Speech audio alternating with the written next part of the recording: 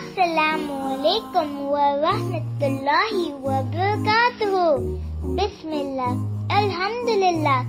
Dear friends, remember we learned the alif and ba words?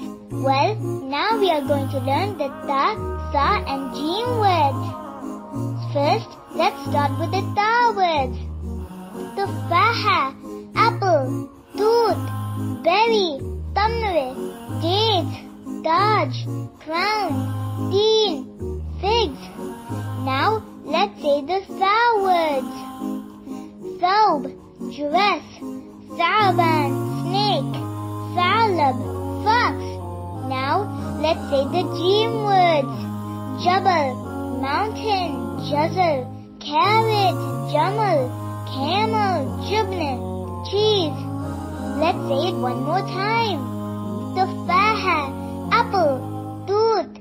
Berry, tamre, date, taj, crown, teen, figs, thawb, dress, Sa'ban, snake, Salab, fox, Jabal, mountain, Jazal, carrot, Jamal, camel, Jubna, cheese. I hope you all know the ta, sa and jim words. Jazakum Allahu khairan.